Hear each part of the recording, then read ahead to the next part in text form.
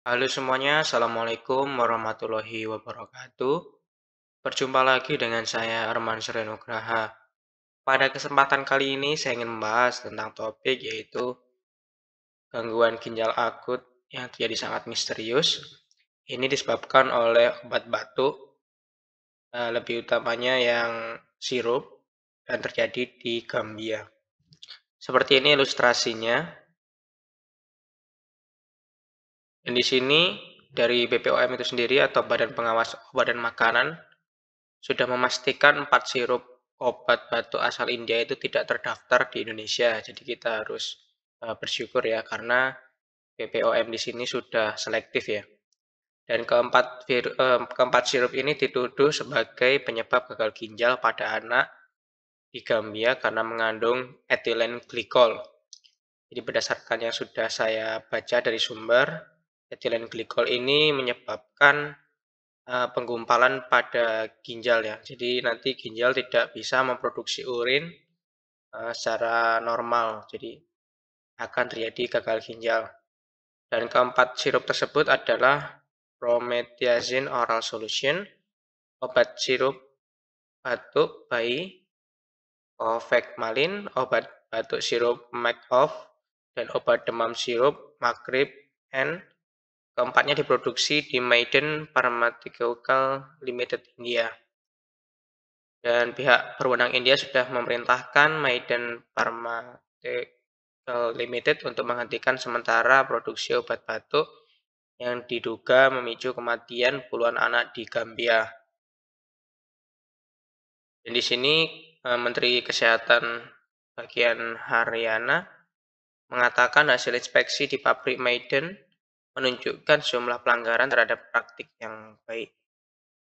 Dan di sini WHO telah merilis peringatan kepada seluruh dunia atas bahaya yang timbulkan obat batuk sirup yang diproduksi Maiden. Dan obat itu menurut WHO boleh menjadi penyebab penyakit gangguan ginjal akut dan kematian puluhan anak pada bulan Juli, Agustus, dan September. Dan di sini apa yang terjadi di Gambia, WHO itu sendiri mengeluarkan peringatan terhadap empat merek obat sirup batuk yang menyebabkan gagal ginjal akut. Jadi di sini eh, adanya kontaminasi di etilen glikol yang berlebihan. Berdasarkan sumber yang lain juga, eh, kalau nggak salah ada zat yang mirip dengan etilen glikol ini yang salah dimasukkan ya. Seharusnya zat tersebut namun di pabrik tersebut salah memasukkan etilen glikol. Fungsi dari etilen glikol ini e, mencegah suatu larutan agar tidak membeku ya. Utamanya ada pada e, radiator ya, campuran air radiator.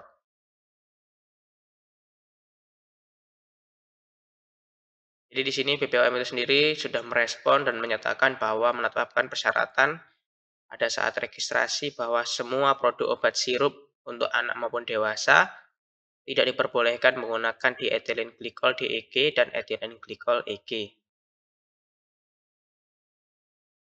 Dan ini BPOM juga menghimbau masyarakat agar membeli obat yang sudah mendapatkan izin edar dari BPOM karena di BPOM itu sendiri akan memeriksa ya mulai dari kandungan kimianya, apakah layak untuk dikonsumsi, dan akan ada uji labnya.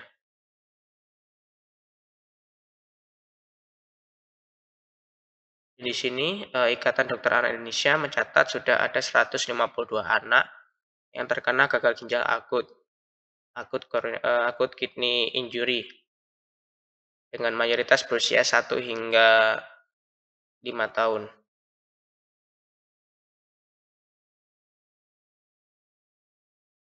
Dan di sini ada catatan resmi di India menunjukkan bahwa perusahaan tersebut atau Maiden tadi masuk daftar hitam di negara bagian Bihar pada tahun 2011 karena menjual sirup yang gagal memenuhi standar lokal. Yang kedua, menjalani proses hukum oleh regulator obat India pada tahun 2018 karena pelanggaran kontrol kualitas. Dan yang ketiga, yaitu gagal tes kontrol kualitas di negara bagian Jammu dan Kashmir pada tahun 2020 Dan yang keempat, gagal tes kontrol kualitas di negara bagian Kerala sebanyak empat kali pada tahun 2022. Dan ini ilustrasinya eh, untuk kemasan dari obat batuk yang mengandung atau terkontaminasi dari etilen glikol atau dietilen glikol. Dan Maiden Pharmaceutical termasuk di antara 40 perusahaan farmasi India yang masuk daftar hitam di negara Vietnam.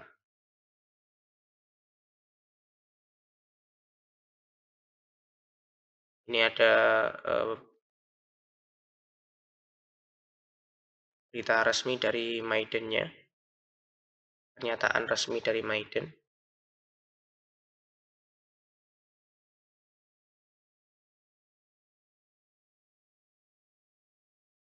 Harusnya uh, sebelum obat itu diedarkan harus dikontrol ya kualitasnya supaya uh, bisa terdeteksi secara dini apabila ada kesalahan dalam meracik uh, bahan kimia dari obat tersebut.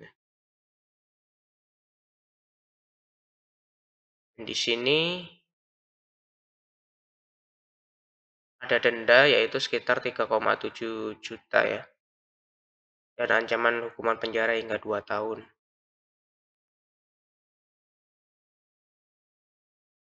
Dan ini ada juga uh, dari Kemenkes atau dari AIDO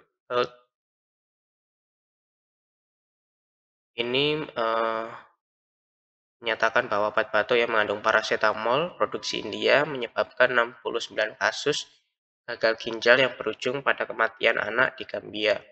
Ini cukup banyak sekali ya. Dan korbannya sangat krusial sekali karena masih anak-anak Dan yang seperti yang saya sampaikan tadi, etilen glikol itu digunakan pada zat anti beku untuk radiator tadi, untuk minyak rem, kosmetik, dan pelumas supaya tidak menggumpal. Dan etilen glikol itu sendiri adalah depresan sistem saraf pusat atau SSP yang menghasilkan efek akut yang mirip dengan etanol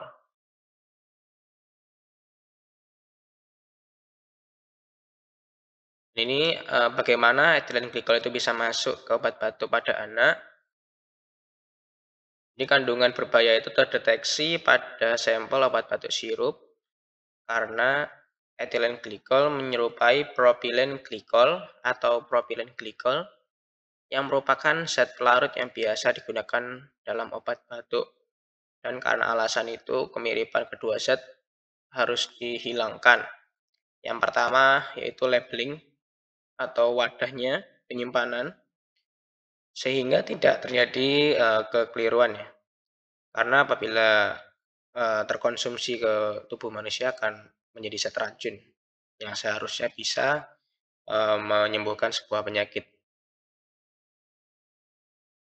Uh, tentu saja apabila uh, salah zat yang masuk dalam tubuh uh, tidak sesuai dengan peruntukannya akan menimbulkan efek pada tubuh yaitu ada 30 menit pertama hingga 12 jam, itu taraf neurologis, akan menyebabkan depresi pada sistem saraf pusat, menimbulkan gejala penurunan kesadaran, pusing, sakit kepala, mengantuk, gelisah, mual, dan muntah. Apabila ada gejala tersebut, silakan langsung konsultasi ke dokter ya. Dan yang kedua, yaitu 12 hingga 24 jam, yaitu tahap jantung dan paru. Setelah itu jantung akan berdetak lebih cepat, irama jantung menjadi tidak teratur, dan penumpukan racun dalam darah menyebabkan laju pernapasan lebih cepat. Dan yang ketiga, yaitu 24 hingga 70, 72 jam atau dua hari, yaitu sudah sampai pada ginjal obat tersebut. Di penumpukan zat kimia beracun menyebabkan ketidakseimbangan kimia dalam darah yang berujung pada kehilangan kesadaran atau koma, sesak napas, gagal jantung, gagal organ, dan berkurangnya produksi urin hingga tidak ada urin sama sekali yang menyebabkan gagal ginjal akut. Yang perlu kita ketahui bahwa setelah obat itu dikonsumsi, tentu saja akan di metabolisme dan akan didistribusikan dan akan diekskresi untuk zat yang tidak digunakan atau menghilangkan zat-zat racun Dan ini penjelasan dari BPOM ya, yang sudah menyampaikan uh, statementnya atau pernyataannya untuk zat kimia yaitu diethylene glycol dan ethylene glycol.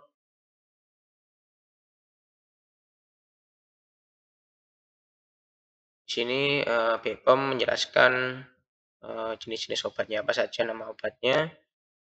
Di sini BPOM melakukan pengawasan secara komprehensif pre dan post market terhadap produk obat yang beredar di Indonesia dan sudah ditelusuri sudah tidak ada atau tidak beredar di Indonesia.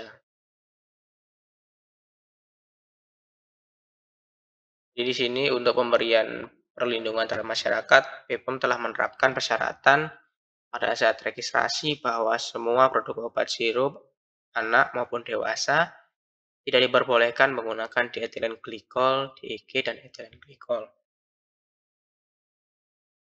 Di sini eh, sebagai langkah kehati-hatian, BPOM juga sedang menelusuri kemungkinan kandungan DEG dan EG sebagai cemaran pada bahan lain yang digunakan sebagai zat pelarut tambahan. Dan BPOM terus melakukan langkah-langkah pengawasan intensif terhadap obat-obat terkait dan akan segera menyampaikan hasilnya ke masyarakat. Jadi ini penting sekali. Dan itu saja yang saya sampaikan seputar eh, sekitar 69 hingga 70 anak yang mengalami gagal ginjal akut di Gambia. Apabila ada yang diskusikan atau ada yang tanyakan, mungkin bisa tulis di kolom komentar. Apabila suka dengan video ini, silahkan like, comment, dan subscribe. Semoga bermanfaat. Wassalamualaikum warahmatullahi wabarakatuh.